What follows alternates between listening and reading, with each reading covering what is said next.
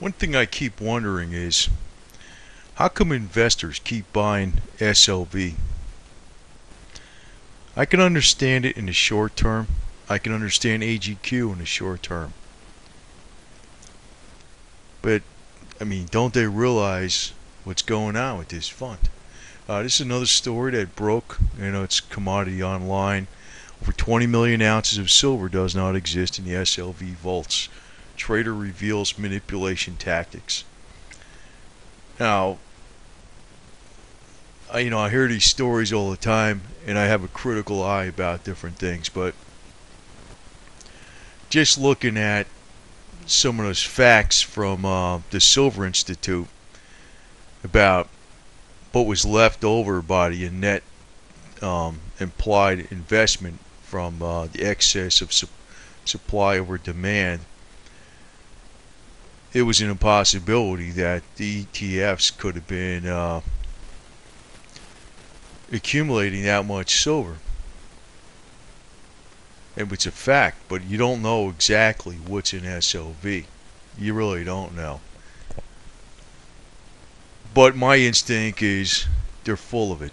They're totally full of it. And I'm not basing this behind it just it just that's that's my smell.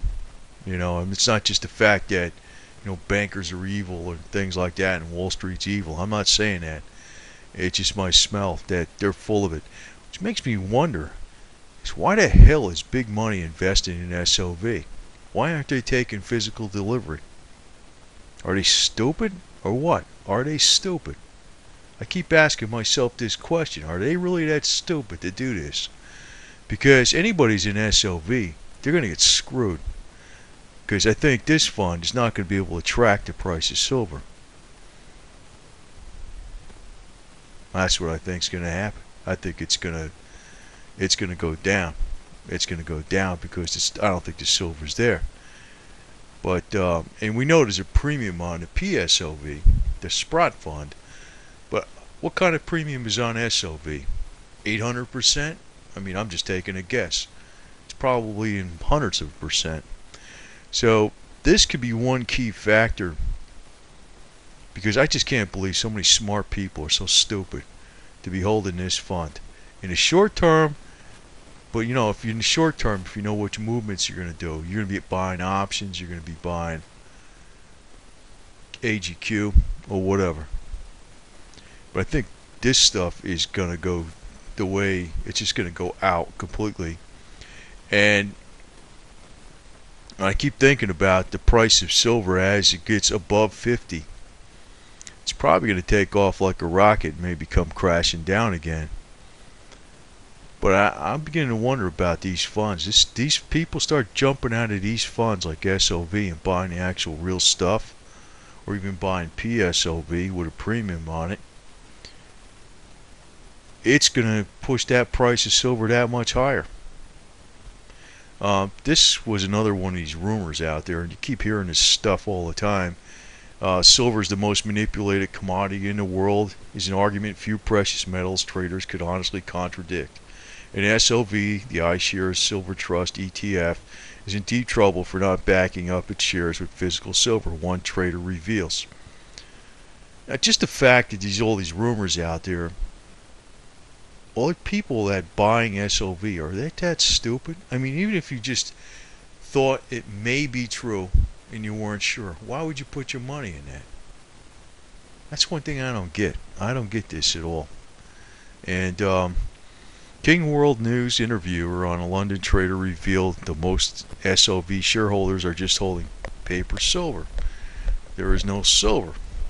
There is enough silver for investors to buy in large amounts. They've been using SLV as a flywheel, basically to take off the excess demand. So you're giving people paper. That's the accusation. But I keep wondering, why do people buy SLV? Even if there's a doubt in their mind, they're not sure. Why would they buy it? Why would they buy it? Doesn't make any sense. And I think once people start getting out of this, that's when you're going to really see the physical start taking off. Mistrust of uh, the ETFs. And actually, there's been a lot of talk. I mean, not just SLV, but a lot of ETFs. They're dangerous. They're dangerous. You really don't know what can. Ha- you really don't know how to manage. I mean, um, I heard different things about they're being investigated. Blah blah blah. You know, I don't know how many stupid things are rumors and everything, but I think this is going to be another major factor that's going to push silver up like really astronomical prices. And um, once it takes off, it gets a life of its own. That's when it goes into bubble mode. And that's when you need to be selling, of course, you know, at that time. But speaking of rumors, um, I remember the rumor Max Keiser put out there about JP Morgan's common stock. This goes back to January 2011. And you know, we look at JP Morgan's common stock, it's up to uh, 37 around there today, 37.66. So what does that mean? The price of silver should be close to 37 now?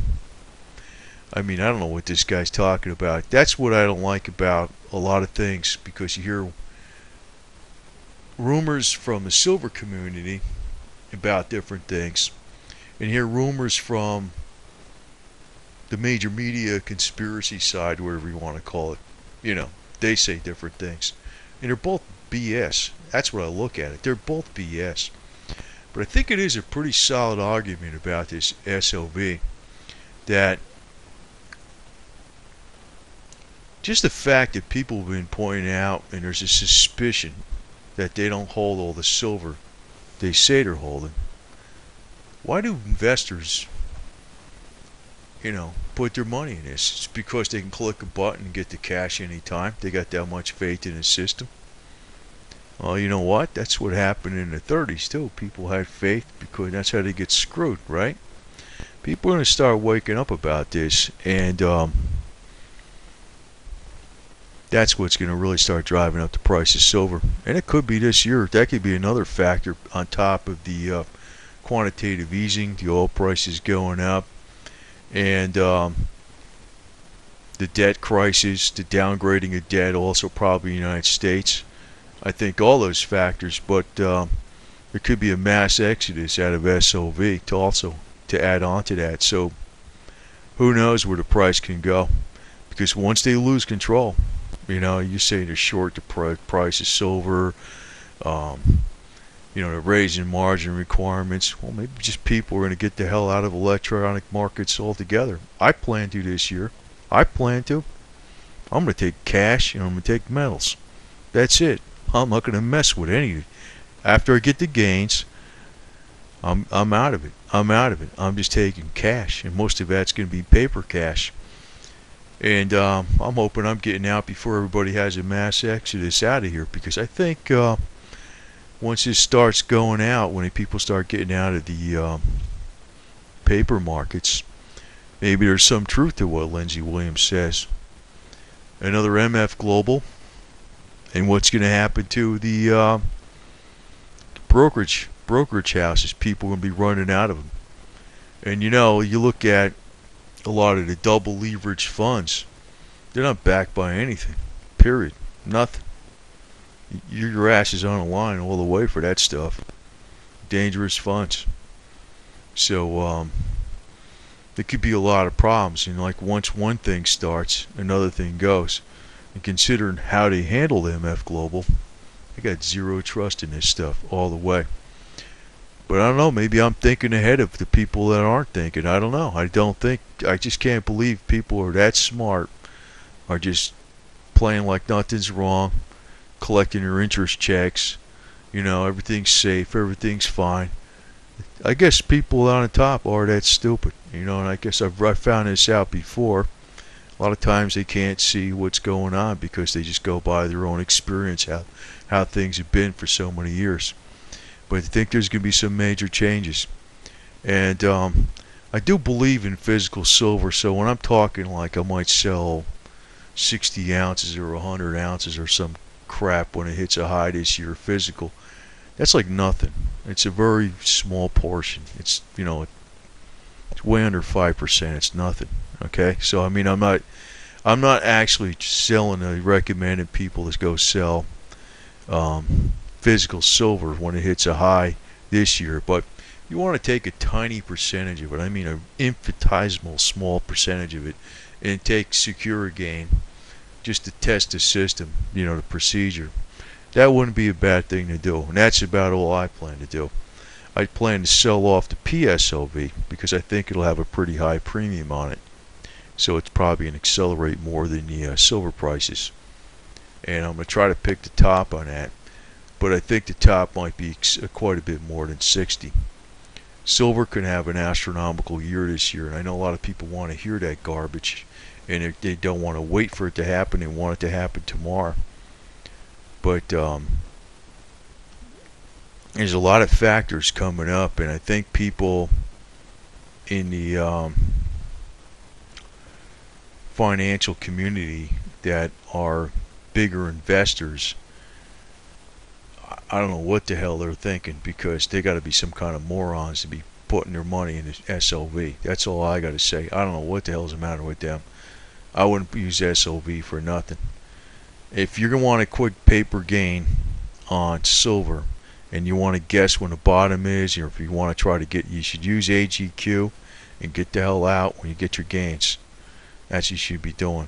Or you should be doing an option as far as uh, on the SLV, but as far as buying SLV and holding it, I think that's nuts.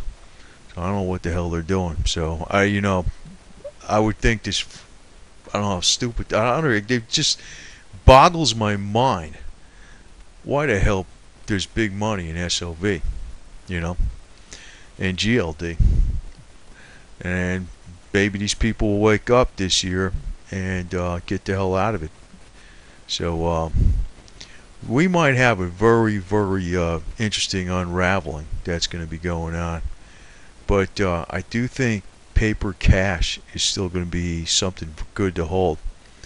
And um, you know, it's not going to lose all its value. They're not. We're not going to go down to Zimbabwe currency. That's not going to happen.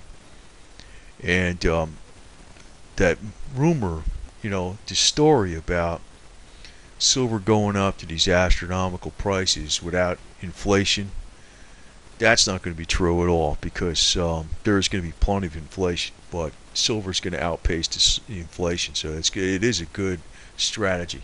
It's going to outpace the inflation. So you be in the right spot. But when this thing takes off, it's going to take off like crazy. And um, I think when this SLV is going to bust or something's going to happen with it this year.